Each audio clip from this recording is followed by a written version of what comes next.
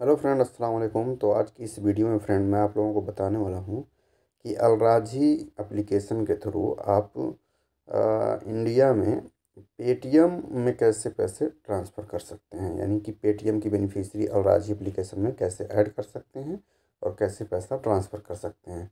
चलिए friend video को देर ना करते हुए फटाफट से स्टार्ट करते हैं। इसके लिए आपको अपना अलराजी एप्लीकेशन ओपन करना होगा जो कि मैंने अपना अलराजी एप्लीकेशन ओपन कर लिया है।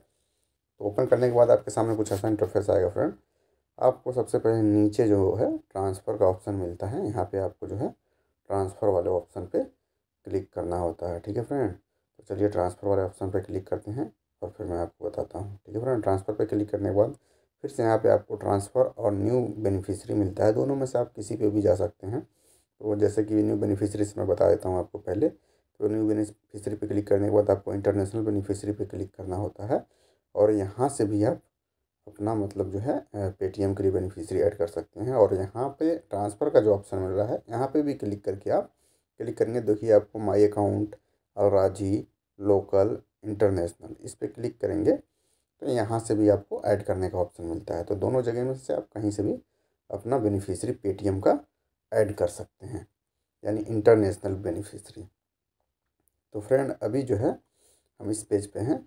तो यहाँ पर जो है फ्रेंड आपको देखिए ऊपर जो है राइट साइड में प्लस वाला आइकन जो दिख रहा है फ्रेंड आपको राइट साइड में, उसी प्लस वाले आइकन के ऊपर जो है आपको क्लिक करना है। ठीक है फ्रेंड तो चलिए मैंने क्लिक किया। जैसे क्लिक करेंगे फ्रेंड कुछ ऐसा इंटरफेस खुलेगा। यहाँ पे आपको कंट्री पूछता है। तो आपको अपना कंट्री सेलेक्ट कर लेना है। तो आप पेटीएम की बेनिफिशरी ऐड कर रहे हैं तो लाजिम है कि आप इंडिया सेलेक्ट करना ही पड़ेगा। तो इंडिया यहाँ पे हम सेलेक्ट कर लेंगे। ठीक है फ्रेंड अब करेंसी पूछता है तो करेंसी में हमें दो ऑप्शन मिलता है, पर हम इंडियन रुपीज़ ही सेलेक्ट करेंगे, ठीक है फ्रेंड इंडियन रुपीज़ सेलेक्ट करने के बाद यहाँ पे हमें बैंक वैलेट कैश पिकअप तीन ऑप्शन मिलता है, पर हमें पेटीएम के लिए ऐड करना है तो हम वैलेट वाले ऑप्शन को चुनेंगे, ठीक है फ्रेंड वैलेट पे क्लिक करने के बाद हमें नीचे पूछता है सेलेक्ट प्रोवाइडर ठीक है फ्रेंड तो एक बार और बैक के बैक करके दिखाता हूँ। यहाँ पर देखिए सेलेक्ट सर्विस प्रोवाइडर इसके ऊपर क्लिक करने के बाद हमें जो है मनीग्राम सेलेक्ट करना है। उसके बाद देखिए, अब नीचे हमें ऑप्शन मिल गया पेटीएम का। पेटीएम पे क्लिक करने के बाद फ्रेंड हम सिंपली नेक्स्ट कर देंगे। जैसे ही नेक्स्ट करते हैं फ्रेंड अब यहाँ पे नेक्स्ट करने के बाद हमसे पूछता है बेनिफिशरी फ़र्स्ट नेम तो फ्रेंड बेनिफिशरी फ़र्स्ट नेम में आप जिसका पेटीएम ऐड कर रहे हैं, जिनका पेटीएम का अकाउंट ऐड कर रहे हैं, उनका फ़र्स्ट नेम बिल्कुल सही सही डालें जो आधार कार्ड में हो उनके। ठीक है फ्रेंड उसके बाद अगर फैमिली नेम है तो डाल दें और उसके बाद नेशनैलिटी जो है इंडियन सेलेक्ट कर लें और वैलेट नंबर में फ्रेंड जिस नंबर से उनका पेटीएम अकाउंट बना है, वो नंबर डालना है। कंट्री कोड अपने आप उठा लेगा और उसके नीचे जो है फ्रेंड आपको बेनिफिशरी मोबाइल नंबर देखने को मिलता है।